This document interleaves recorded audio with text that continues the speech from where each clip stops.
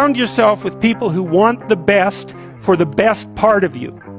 You can hang around with weasels and losers that are trying to pull you down to justify the fact that they're spiraling downhill as well. And you know, the upside of that is you don't have to have any responsibility and you can all whine about how wretched life is, you know, so that's pretty attractive.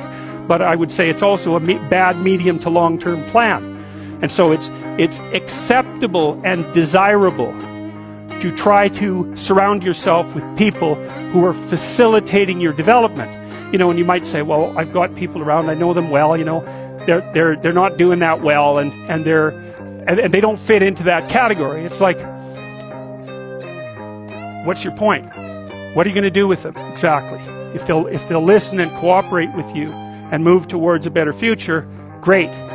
If they don't pay any attention and they keep doing the same damn things over and over and they're not going anywhere and it's painful, then maybe the proper thing to do is say, you just have your misery.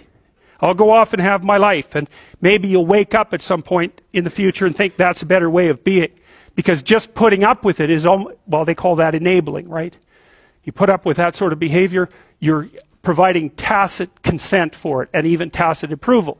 It's like, it's a bad idea. You have I would say both the right and the responsibility to surround yourself with people who are good for the best part of you.